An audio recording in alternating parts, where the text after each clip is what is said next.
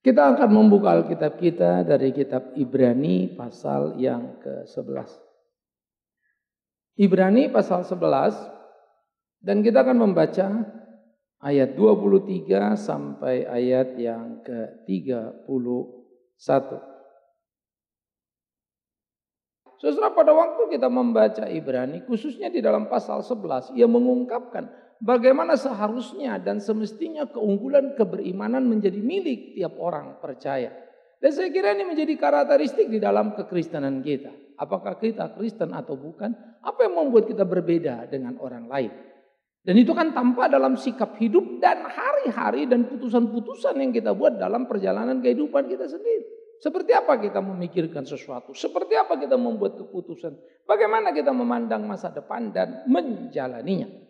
Karena itu pertama diungkapkan tentang Musa oleh Ibrani di dalam bagian yang ayat 23. Dia lahir disembunyikan selama tiga bulan oleh orang tuanya. Karena melihat anak itu elok rupa dan mereka tidak takut akan perintah raja. Perhatikan kalimat ini kalau kita baca agak sedikit rancu. Karena iman mereka menyembunyikan. Karena Musa elok rupanya. Jadi sebetulnya disembunyikan karena elok rupanya atau karena imannya. Bagaimana gambaran ini bagi saya menjadi sangat manusiawi. Bahwa betul kecintaan orang tua terhadap keelokan rupa Musa itu ada. Tapi iman bekerja dan membuat mereka menyembunyikan Musa padahal itu tidak mungkin. Perintah Firaun sangat jelas setiap anak-anak Israel yang lahir harus dibunuh mati. Bidan-bidan mendapat tugas itu. Lalu sekarang mereka menaruh itu di dalam keranjang lalu melepaskan di sungai Nil. Hatinya sama dengan bunuh diri. Karena putri Firaun akan mandi di sana. Tetapi entah apa yang ada di dalam benak mereka. Mereka menaruh harap kiranya. Kalaupun ditemukan putri Firaun, ia berubah. Kiranya kalau jatuh ke tangan orang Mesir, ia mendapat cinta kasih. Pikiran yang tidak logik bukan? Jadi perasaan kemanusiaan hidup, yes aku dekat dengan dia. Aku sayang dengan dia. Dia cantik. Tetapi iman tidak mati. Ia bekerja dan menaruh harap yang kuat Tuhan akan menolongnya. Setiap kita sayangnya berhenti dalam keinginan, tetapi iman tidak bekerja. Sehingga kita tidak mewujudkan dalam tindakan. Itu kegagalan orang Kristen. Kita hanya mengatakan ABCDFG. Boleh saja seribu cita-cita kita ungkapkan. Tapi aksi terhadap cita-cita tidak terlihat. Karena iman yang tidak ada. Tapi sering kali juga kita punya iman yang begitu luar biasa. Mau ini, mau itu. Logikanya jumpalitan, tidak karu-karuan. Sehingga sebetulnya antara keberimanan dan emosi keinginan itu beda-beda tipis. Maka dia harus diuji terhadap berbagai hal. Betulkah imanmu itu?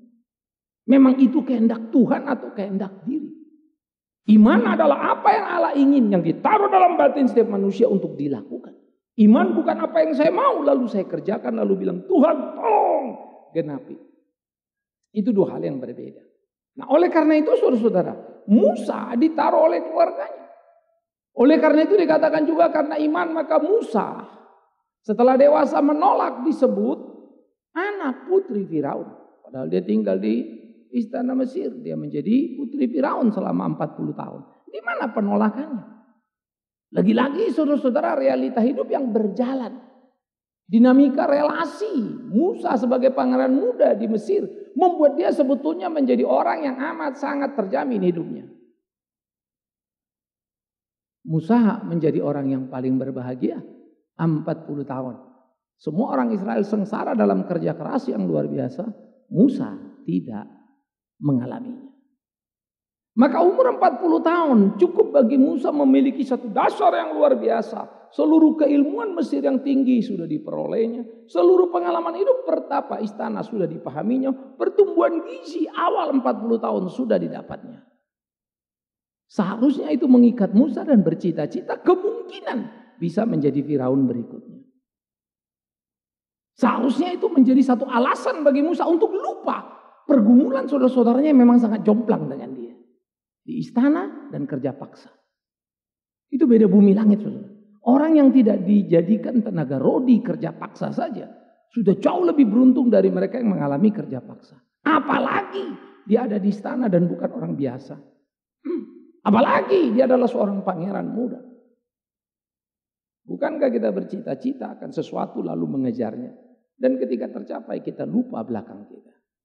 Sehingga ada istilah kacang lupa. Itu realita hidup manusia. Satu mau dua, dua mau tiga, pengabdian menjadi keuntungan. Berubah semuanya. Maka di situ kita bisa melihat betapa iman itu tidak bekerja. Jadi iman bekerja bukanlah cita-cita yang tercapai. Dengan iman aku akan sampai ke sana. Engkau sampai. Tetapi buah iman itu akan dilihat. Apakah itu connecting dengan kehendak Allah. Nah oleh karena itu saudara-saudara. Di tengah pergumulan yang ada itu. Di tengah situasi yang terjadi itu. Lihat bagaimana Musa lebih suka menderita dengan umat Allah daripada untuk sementara duduk dan menikmati dosa. Apa itu? Adalah berdosa bagi seorang Musa jika dia duduk dalam kesenangan istana, lupa saudaranya yang diperbudak. Maafkan saya kalau saya berkata, kita adalah orang yang sering kali berdosa karena terlalu nikmat dengan keberhasilan kita dan menghitungnya, tapi lupa berbagi dan menolong orang yang sengsara yang Tuhan taruh di sekitar kita, yang kita lihat dengan mata telanjang kita. Waktu saya tersadar, saya hanya satu ingat. Beban yang Tuhan taruh. Sehingga di buku saya, saya menulis. Tidak penting ada mujizat. Kamu bangkit dari mati. Tapi penting kamu bertanya. Untuk apa kamu dihidupkan. Bukan soal saya mati lalu hidup lagi. Itu bukan cerita besar. Orang banyak ngalaminnya. Tidak perlu Kristen. Tapi untuk apa dia memberi kita hidup? Itu pertanyaan serius. Yang mestinya juga jadi pertanyaan kita semua. Untuk apa saya ada? Untuk apa saya hidup?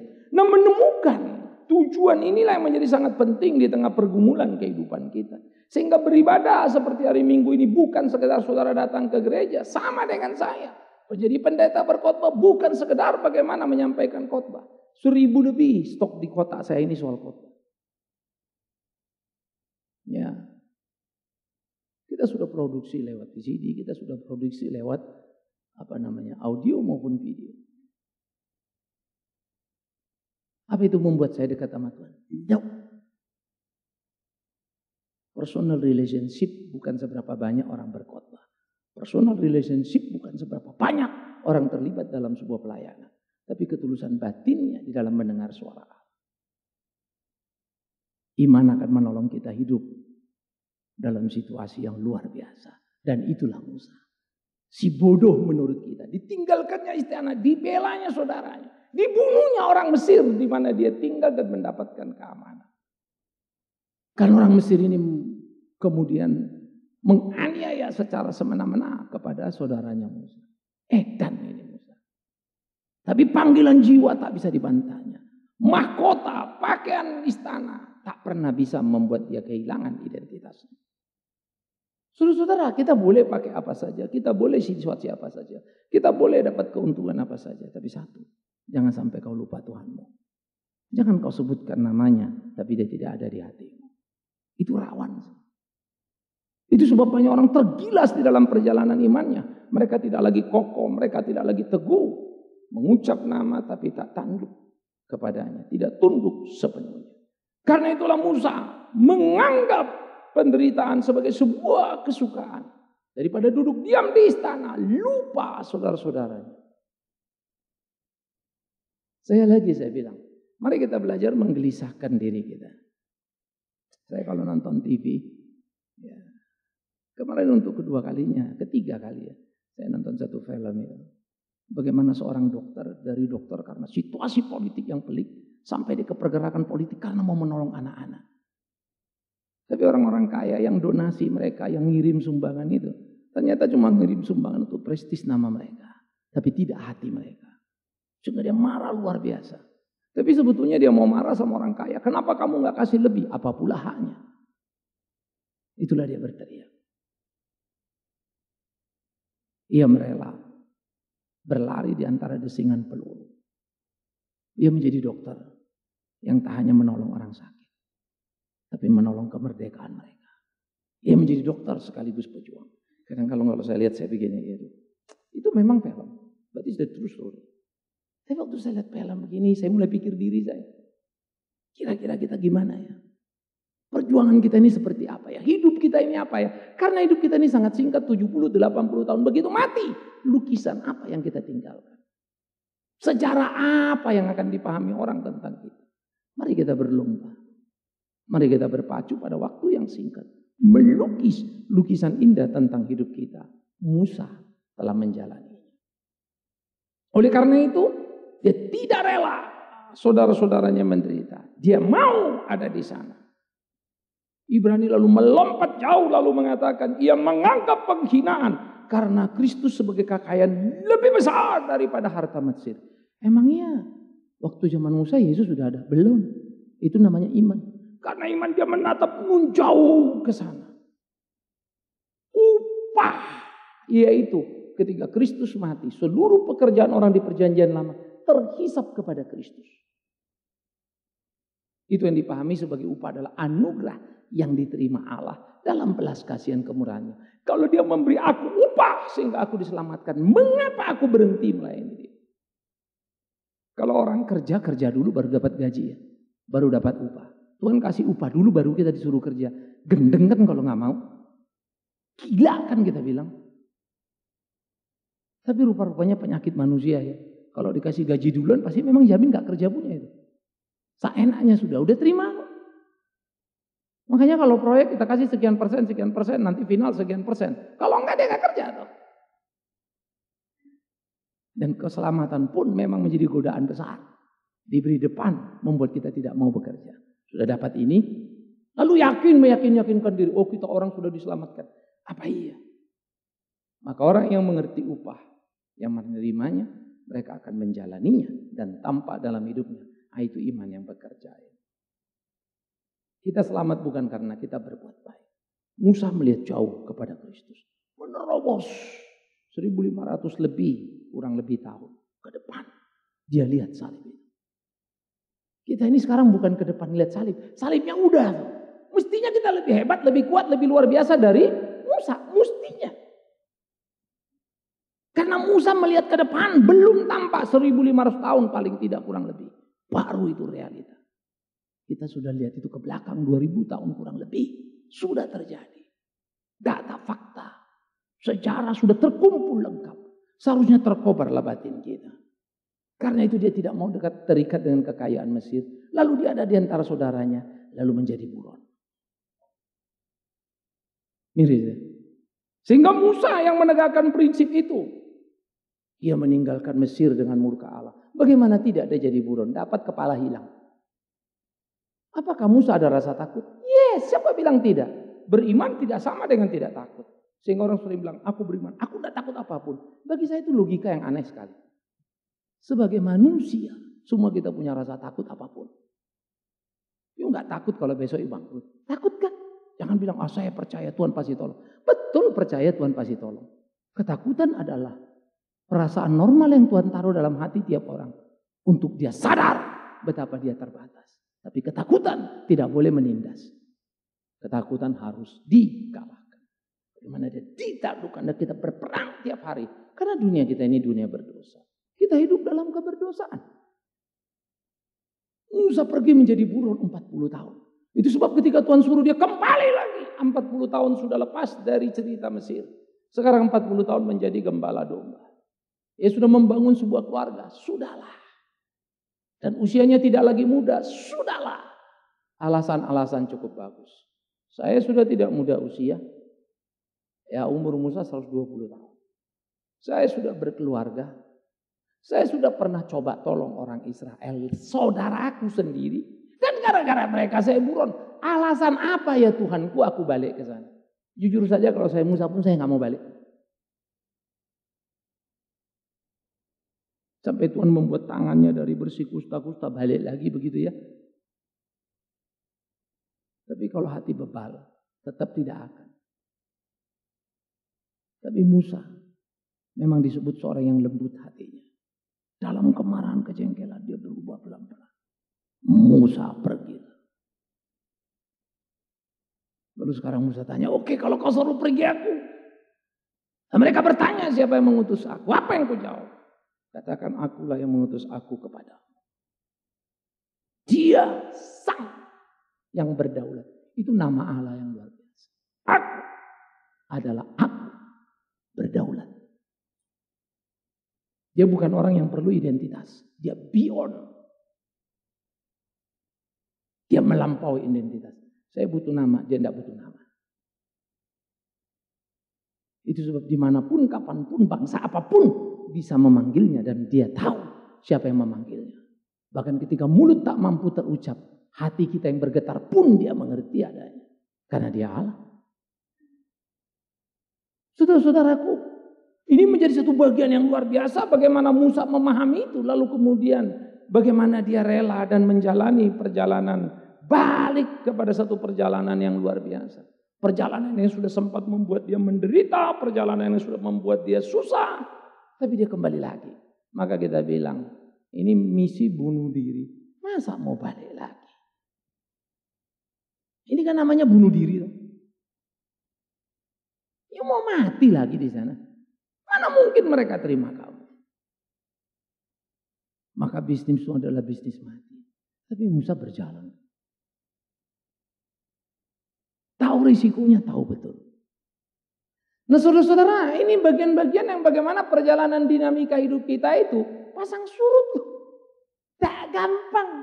Jadi kalau kau pikir kau Kristen, saya sudah berdoa loh Pak, kenapa persoalan saya datang? Justru karena kau berdoa persoalanmu datang. Kalau kau tidak mau persoalan, tidak usah kau berdoa.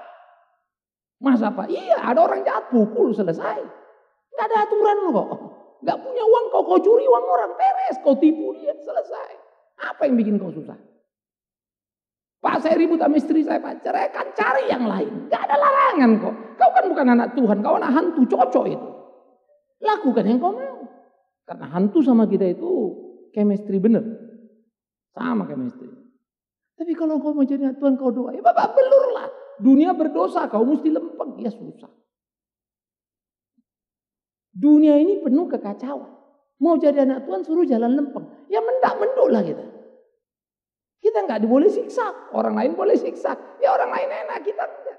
Ya susah lah, ya sakit lah, ya persoalan lah, ya pergumulan lah. Pasti itu. Tapi di situlah iman itu. Ketika orang jalannya kok kayaknya enak ya. Dia lari sama sini.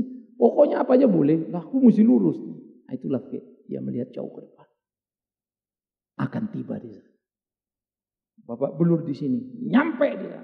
Lalu dia terus melangkah. Wow. Hidup orang Kristen itu luar biasa. Ingat ya, iman bukan activity. Iman bukan quantity. Ya quality. Pengabdian dan penyerahan diri. Kalau pelayanan saudara, urusan gampang. Dulu saya 70 kali khotbah dalam satu bulan. Kalian bisa bayangkan, hari tertentu lebih dari dua kali. Khususnya minggu, bisa empat lima kali. Saya ditunggu-tunggu banyak orang. Dan saya bangga karena pelayanan ke mana-mana. Tapi itu saya duduk diam per satu kali mikir ya. Dalam pergumulan saya, di perjalanan saya. Saya suka tipe orang kontemplasi. Ya, tidak formal, saya duduk diam, dan saya mikir gini. Saya bisa berinteraksi dengan film yang saya tonton. Wah, gini-gini. Sampainya saya terenyut, apa terpukul. Apalah hebatnya kalau saya khotbah 70 kali.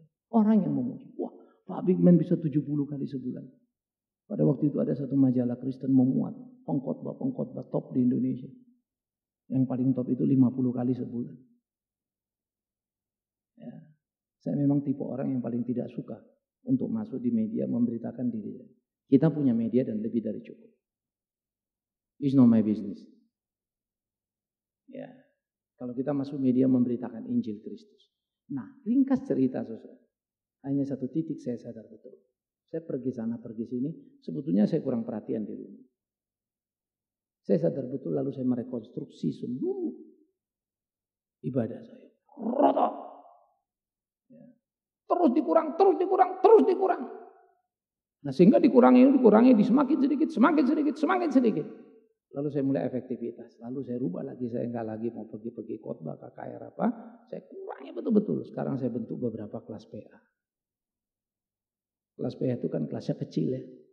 Tapi nilai kehadiran saya bermakna. Satu minggu sekali, ada yang dua minggu sekali, ada yang sebulan sekali. Berikan pengajaran, berikan orang berbentuk. Pikiran-pikiran itu direkonstruksi. Gengsinya hilang. Karena hidupku bukan menjadi pengkhotbah terkenal. Hidupku menjadi guru yang jadi berkat. Dan itu panggilan kita bukan. Bagaimana menolong orang menemukan kebenaran. Toh kalau saya pelayanan 70 kali katanya hebat. Ya enggak lah. Siapa pun sebetulnya pendeta pengen 70 kali. Karena 70 kali sama dengan 70 amplop. Ya jujur-jujur saja. Kami kami ini pendeta kalian pikir apa? Eh 70 amplop itu. Tinggal dikali angkanya berapa? Orang-orang tertentu membuat saya punya rate. Ya. Satu kali saya bicara sekian juta. Sampai di top sekian juta. Nah, itulah. Harga diriku ada sampai sekarang. Kenapa? Saya percaya Tuhan pasti tolong. Kadang-kadang otak ini pun nyesel. Begitu jalan, aduh mah, apalagi kalau udah gak punya uang. Bodoh lo sendiri, kemarin tipis-tipis lo tolak, sok tahu gitu. Saya sering lo, sok tahu lo. Saya berguru. Itu tidak gampang saudaraku. Saya berkelahi dengan batin ini. Bukan hidup saya tanpa pergumulan. Ya. Iman percaya. Itu penting. Sehingga nama kita dikenal orang seperti orang apa seperti kita mengenal diri kita. Artinya jangan lagi ada yang tertutup dan Musa menjalaninya. Maka dia mengadakan pasca, memercikkan darah supaya pembinasan anak sulung jangan menyentuh mereka, matilah anak sulung Mesir semua. Tulah demi tulah yang berjalan itu nama ngasuh akal itu. Masa darah ditaruh lalu lolos? Bagaimana lah maut itu kalau datang kan satu kota itu hancur semua, betul lah. Kenapa mesti rumah orang Israel ini nggak ada? Karena ada darah. Apa logikanya? Tapi dia tahu. Tanda semua. Dikali. Salib itu bisa les, bisa kali, bisa T. Itu simbol daripada salib. Kata cross daripada kata crucial. Very, very important. Itu cross. Jadi cross the crucial. Itu hebat. Sehingga meaning-meaning kata itu mau mengajak kita masuk lebih dalam lagi. Sehingga saudara-saudaraku yang kekasih, pada waktu itulah dia taruh sehingga selamatlah seluruh anak-anak Israel. Anak Mesir mati semuanya. Karena iman Tuhan bilang pada Musa, Musa, pukulkan tongkatmu ke laut itu. Berbak terbelah dua laut. Sampai jungkir balik pun kita mau memahami ini nggak masuk akal ini. Bagaimana lah cerita ini? Terus jalanlah orang Mesir ini ada keretanya apa lewat. Saya sampai sekarang pun tidak habis ngerti. Mana ada dasar laut jalan tol? Atau jalan mulus bukan. Pasti belabak, belubuk, batu itu semua kan. Tapi bisa-bisa aja lewat tuh. Anak kecil, orang tua, semua lewat. Sampai menjadi muncul penafsiran daripada Paulus yang luar biasa. Bangsa Israel semua dibesak, baptis, tua, muda, besar, kecil. Ketika mereka melintasi laut.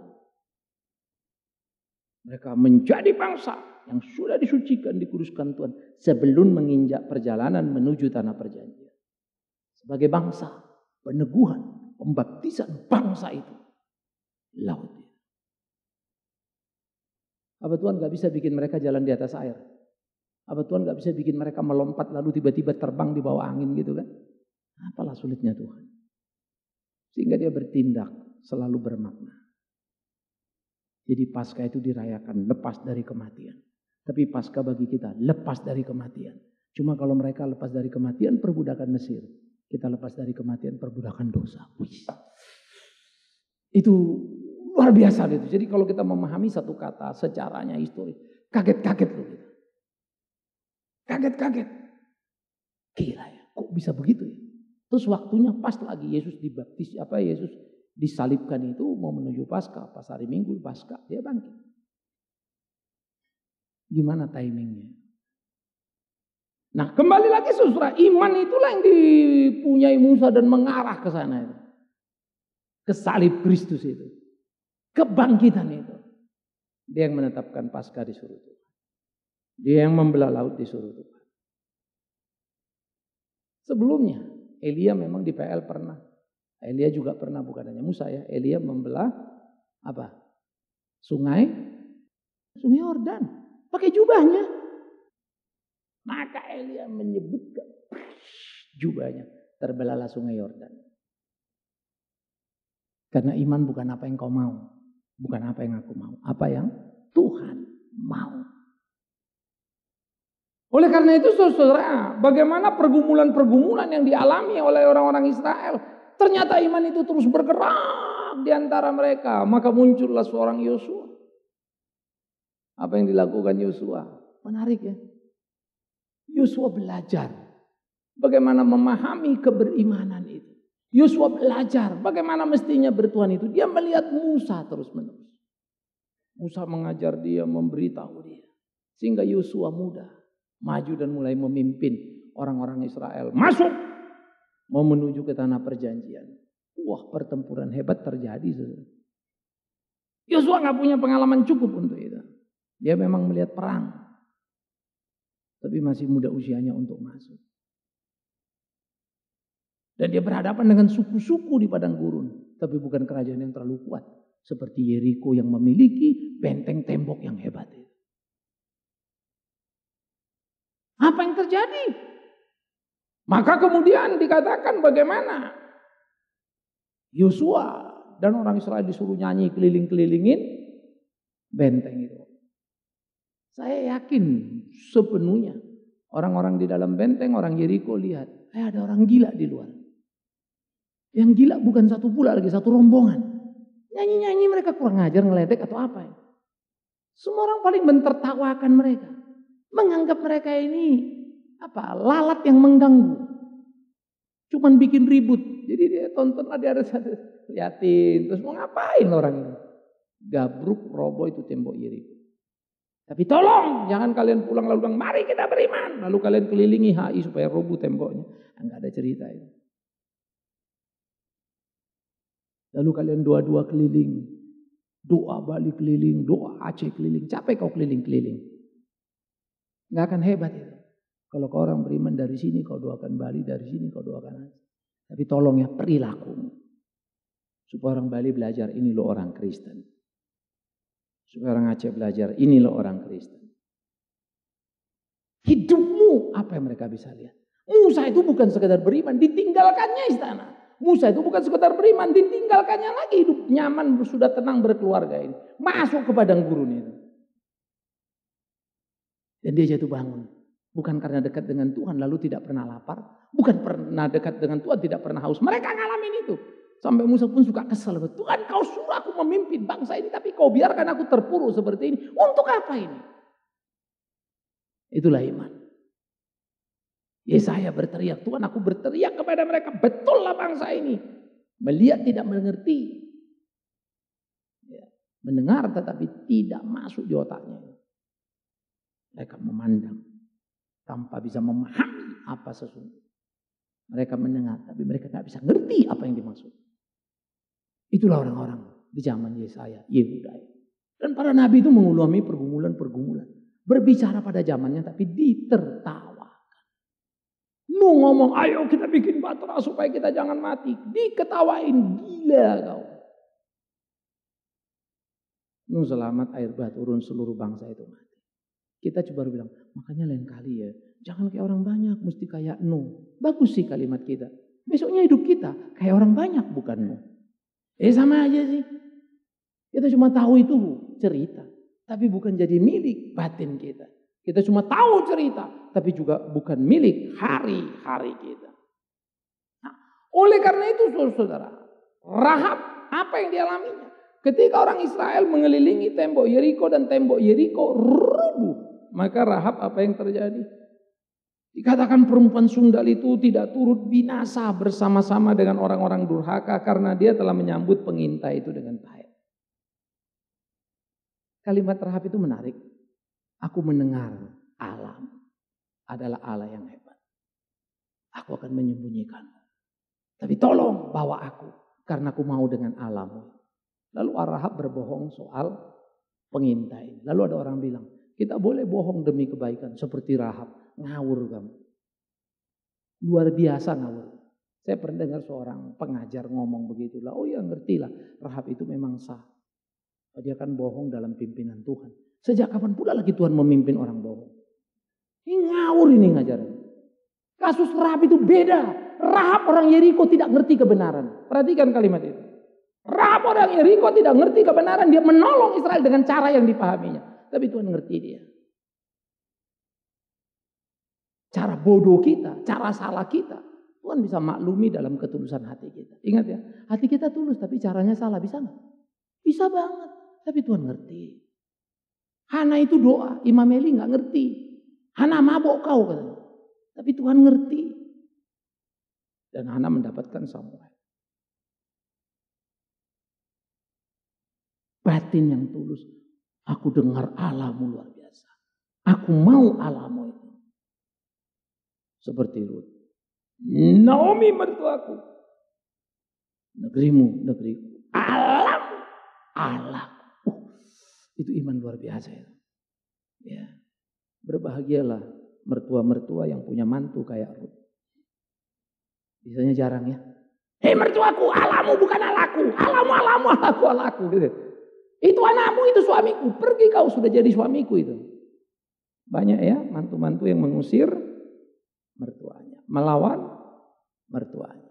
Ya, semoga kalian tidak masuk surga. Jadi mantu-mantu jangan kurang ajar sama mertua. Hormati. Tapi tolong mertua-mertua jangan pula kurang ajar sama mantumu. Ya. Lalu kita puaskan diri kita, tanggung jawab kita membawa mereka mengerti kebenaran dan mengenal. Baru indah. Karena itu Rahab bilang, aku percaya. Iman itu hidup. Padahal dia cuma dengar-dengar loh cerita tentang Allah ini. Dia belum punya pengalaman yang utuh. Cuma kemarin dilihat gila tuh robo lo tembak. Ya, bakal hebat terjadi ini. Kemudian dia mempercayakan dirinya. Nah oleh karena itulah saudaraku. Ini menjadi bagian yang patut untuk kita pikirkan. Di dalam perjalanan Israel yang penuh dengan selak beluk, kesakitan, kesulitan, penderitaan. Tetapi Israel tidak pernah menyerah. Musa ada di sana. Orang Israel bisa kurang ajar datang silih berganti, tapi pemimpin tetap dilahirkan. Orang yang beriman dan punya tanggung jawab. Nanti nyambung lagi ke nabi, nabi, imam, imam apa namanya, hakim, hakim dan seterusnya. Kita akan melihat itu nanti. Tapi biarlah pada bagian ini kita memahami apa yang sedang kita kerjakan. Lihatlah apa yang bisa kau kerjakan. Lihatlah apa bisa kau lakoni. Itu rindu saya sekarang ini. Kulakukan bagianmu, lakukan bagianmu. Tuhan percayakan ini pada kita semua. Amin. Itulah kita mau ke sana.